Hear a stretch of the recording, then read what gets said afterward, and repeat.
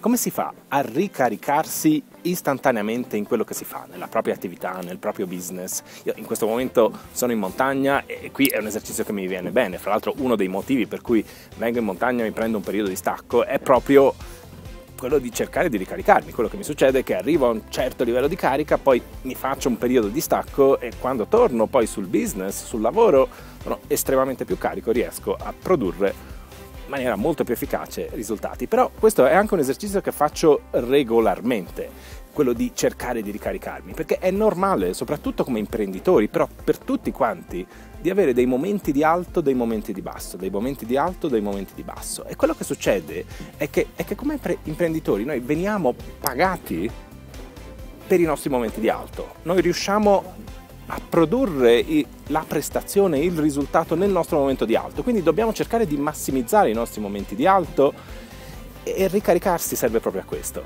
Quindi un esercizio che io faccio regolarmente, che ti propongo anche adesso di cercare di fare, è di valutare il tuo livello. Fermati un attimo e prova a valutare qual è il tuo livello di carica, il tuo livello di energia in questo momento. Da 1 a 10, datti un voto, può essere 4, può essere 5, può essere 6, pensaci un attimo e dopodiché fermati, concentrati e fai lo sforzo di passare al livello successivo. Quindi se eri a un 4 cerca di saltare al livello 5, se eri a un 5 cerca di passare al livello 6 e l'esercizio lo puoi ripetere, puoi scalare livelli in questo modo, arrivare sempre più in alto e arrivare più carico. Prima di fare una sessione importante, prima di creare qualcosa, prima di lavorare a qualcosa di importante, se fai l'esercizio della ricarica, questo ti aiuta a essere molto più efficace, a raggiungere in maniera molto più efficiente i tuoi obiettivi e ottenere i tuoi risultati.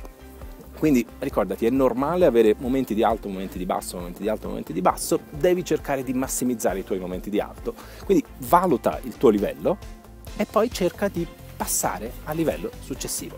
Io sono Marco Scabia, se stai guardando questo video in qualunque luogo sul web che non sia il mio blog vai su www.marcoscabia.com, poi lasciami una qualche reazione, lasciami un commento, condividi questo post e ricorda sempre avanti senza mai fermarsi.